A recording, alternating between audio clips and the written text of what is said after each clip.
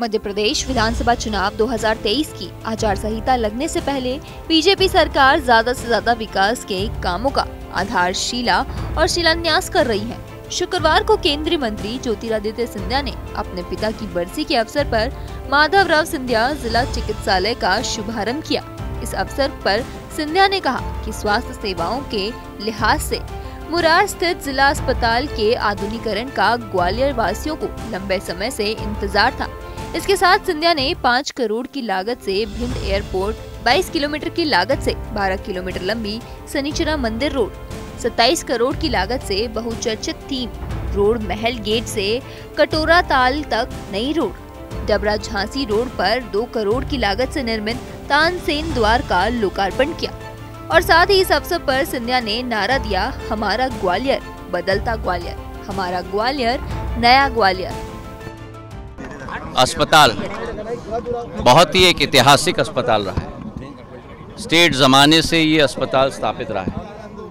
और बहुत अरसे से ये आधुनिकरण और उन्नयनीकरण के लिए बहुत समय से ज़रूरत थी। मैं धन्यवाद देना चाहता हूँ शिवराज सिंह जी को, भारतीय जनता पार्टी की सरकार को, कि 22 करोड़ रुपए की लागत से आज इसका आधुनिकरण और उन्नयनीकरण हुआ है। 200 बिस्तर से जाकर ये 300 बिस्तर का अस्पताल बन चुका है। डिस्पेंसरी भी यहाँ लग चुकी है दवाई खाना ओपीडी भी तुरंत अस्पताल के प्रवेश में होने, होते ही से होगी।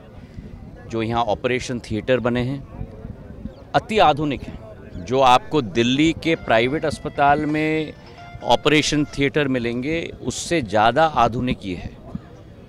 पूरा यूवी लाइट के आधार पर, पूरे सक्शन सिस्टम के आधार पर, सबसे आधुनिक विश्व की तकनीक, पूरा फ्लोर पैनल, वॉल पैनल लगाकर टेम्परेचर के लिए ऑक्सीजन के प्रवाह के लिए केमिकल्स के प्रवाह के लिए, पूरा डक्ट सिस्टम के आधार पर ओटी का पूर्ण स्थापना यहाँ हो चुका है।